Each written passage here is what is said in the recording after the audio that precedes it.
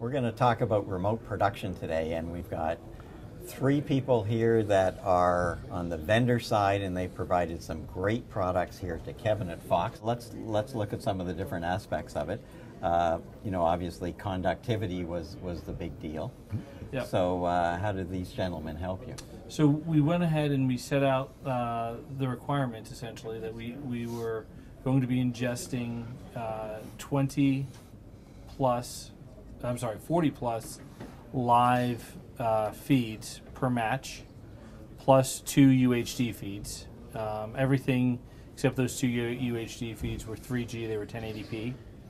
Uh, and we wanted to ingest them, uh, store a copy locally uh, at the IBC, and then push a version, a high re- or MES version, out to the cloud, as well as proxy viewing from anywhere in the world.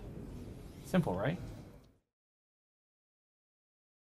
As we work on these things, I mean, we really felt felt good about the, the fact that Fox, you know, brought us in and brought us together to kind of work on this project, you know, as kind of a in a collaborative fashion, right? Yep. So, um, you know, a lot of the technology we used here actually started on the back of a napkin uh, at- during an NAB, but uh, you know, we, we we put things together, we built out the technology, and from the transport perspective, that tight integration really helped us a lot. Of course, we would have could have carried things out in a bespoke fashion as well, but but it really it really helped to have that relationship, and then of course with levels beyond as well, um, that that that. Uh, interaction um, at a uh, very you know, tight and deep level actually allowed us to carry out what we did because at the end of the day it was about the solution not about the individual companies